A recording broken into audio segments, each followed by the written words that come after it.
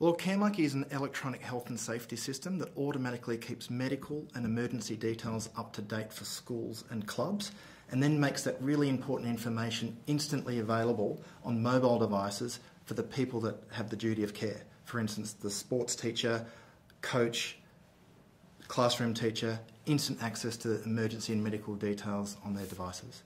Winning the startup category is validation that our system is really useful and a great pat on the back for our team.